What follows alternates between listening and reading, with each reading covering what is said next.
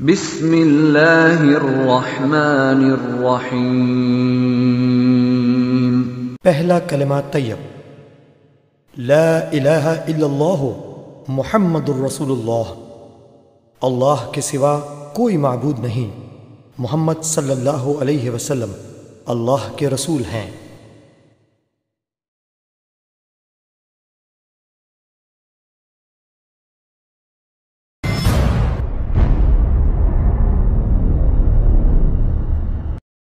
اس سے بھی بڑا میرا احسان یہ مانو اس سے بھی بڑا احسان یہ مانو کہ میں اگر جو میں نے دعوت سارا حق واضح کیا اگر میں وہ بغیر داڑھی کے اس حلیے میں واضح کرتا تو جو سائنسی طبقہ ہے جو پڑھا لکھا طبقہ وہ مجھے ہتھیلیوں پر اٹھا لیتا وہ طبقہ اس وجہ سے پیچھے رہا کیونکہ انہوں نے دیکھا یہ بھی ایک مولوی ہے۔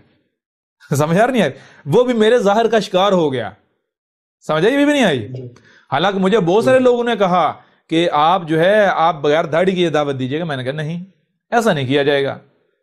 پہلے داڑھی کے ساتھ دی جائے گی۔ کیوں داڑھی کے ساتھ دی جائے گی؟ کیونکہ یہ حکمہ ہے۔ اگر بغیر داڑھی کے دی جائے گی تو جتنے یہ ملاٹے ہیں مذہبی ہے یہ کہے گا داڑھی منڈا ہم اس کی بات کیسے مان لیں؟ جی۔ سمجھ آ رہے ہیں یار؟ یوں۔ اگر یہ کہتا ہے اگر اس کی داڑھی ہوتی تو پھر سوچا جا سکتا تھا۔ جی؟ اس کی تو جی۔ سنت رسول ہی نہیں ہے۔ جو انہوں نے اپنے معیار گڑے ہوئے ہیں۔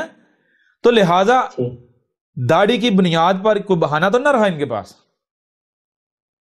دوسرا اگر مونڈ کے آ جاتا تو وہ جو طبقہ ہے سائنسی طبقہ وہ کہتا ہے یہ تو بھائی ہمارا بندہ ہے۔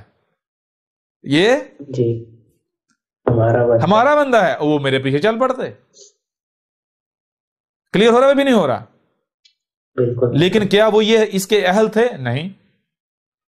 اگر وہ اس کے اہل ہوتے تو وہ داڑھی سمیت قبول کرتے نا؟ جب داڑھی تھی۔ جی۔ لہذا ان کے لیے یعنی دونوں کے لیے داڑھی فتنہ ثابت ہوئی۔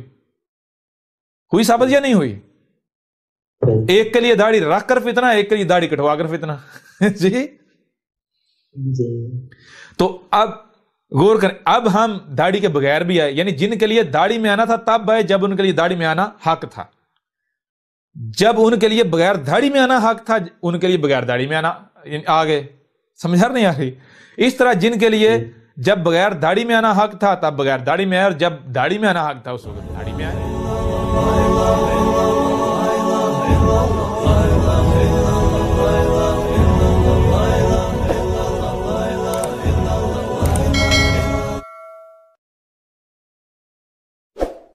تم کہتے تھے یہ نماز جنت کی کنجی ہے۔ جان لو یہ جنت کی کنجی نہیں ہے یہ جہنم کی کنجی ہے۔ نماز جنت کی کنجی نہیں ہے، نماز جہنم کی کنجی ہے۔ احمد عیسیٰ کا چیلنج ہے، اب دنیا کی کوئی طاقت احمد عیسیٰ کو غلط ثابت کر کے دکھائے۔ یہ لکھا ہوا ہے قرآن میں۔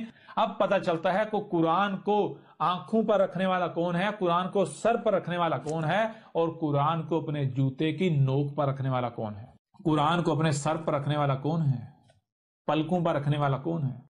احمد عیسیٰ اور احمد عیسیٰ کی دعوت کو ماننے والے اور قرآن کو اپنے جوتے کی نوک پر رکھنے والا کون ہے؟ اے مسلمانوں، تم لوگ تمہاری نمازوں کے، تمہارے قبلے کے، تمہارے کعبے کے پرخچے اڑا کے رکھ دیے، تمہیں کسی چیز کا نہیں پتا۔ دنیا میں سب سے بڑا گمراہ، جاہل اور قابل لانت اور کوئی نہیں ہے سوائے مسلمان کے۔